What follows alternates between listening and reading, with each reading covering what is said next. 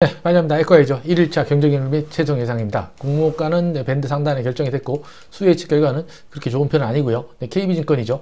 어, 규모는 721억이고 좀 많아요. 네, 1,500원 수수료 있고 네, 에코아이 KB 네, 청약 건수 2만 1000건 들어왔습니다. 가장 최근에 청약했던 SY 스틸텍 같은 경우는 5만 건 들어왔죠. 네, 그것보다 저조하게 들어왔죠. 증거금은 240억. 어, SY 스틸텍은 한 770억인가 네, 1일차 때 들어왔고요. 현재 균등은 12주, 비례한주는 10만 5천 원. SY 스틸텍이 한 16만 건 최종으로 청약이 됐었고요. 네, 그 다음에 증거금은 한 1.6조 들어왔죠. 지금 시작도 770억보다 한 3분의 1, 3분의 1 정도밖에 안 되고, 청약 건수도 SY 스틸텍이 5만 건이었는데, 네, 2만 1천 건. 거의 뭐 3분의 1, 3분의 1보다는 조금 높지만은, 네, 적게 들어오겠죠.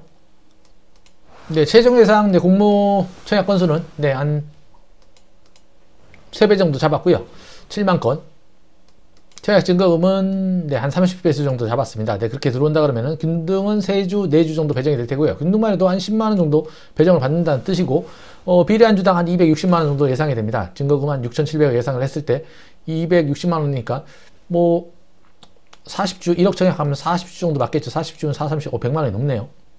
일단 뭐 시장 분위기가 조금 더 청약이 별로다. 네, 종목이 별로다 싶으면 더 덜 들어올 가능성도 있고요. 만약에 좋다 그러면은 막판에 더 들어올 수도 있겠죠. 뭐 좋을진 네, 그렇게 뭐 좋아 보이지는 사실 않아요. 네. 수혜 측이 너무 낮고 너무 낮은데 밴드 상단에 결정됐다는 것 자체가 조금은 룰이 조금 이제 국룰이 그래도 수혜 측이 2, 300은 나오고 어, 가격 분포가 그래도 양호해야지 밴드 상단에 들어가도 뭐 그런가 보다 뭐 이런 느낌인데 상당히 스톰데크랑 네, 겹치죠. 20날. 네, 대출 기간은 월요일까지 청약이기 때문에 네, 한불이는 이틀이고 최소 청약이 10주고요. 뭐 KB증권 뭐 수수료 없는 분들 많으니까 참고하면 좋을 것 같고 어, 스펙은 잘 모르겠고 스펙은 주는지 안 주는지 저기 명확하지 않은데 네, 청약을 하면은 네.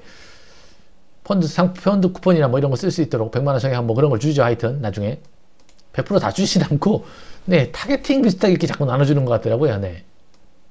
한 번은 주고 한 번 안 주고 네, 그런 식인 것 같은데 뭐 그게, 그게 목적이라 그러면은 세 주 받으면 10만 원인데 네 좀 그렇죠.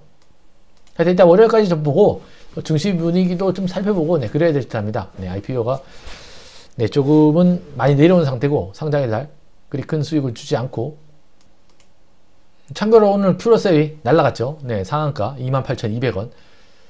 네. 대단하죠. 아침부터 급격히 밀어 올리더니 하여튼 바이오가 밴드 하단 아래쪽 지하에 결정되는 종목은 하루 이틀 정도는 보유하고 지켜봐야 되는 듯 하죠. 네. 영상이 도움이 되든 안 되든 네, 구독과 좋아요 부탁드리고요. 네, 고맙습니다.